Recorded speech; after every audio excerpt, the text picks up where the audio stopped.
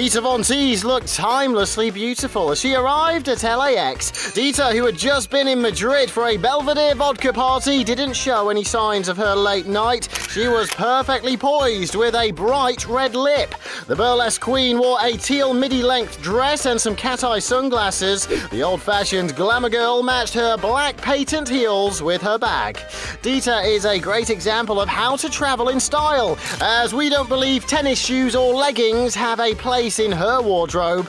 Her hair was bouncy and curled, the crowning glory to her well groomed.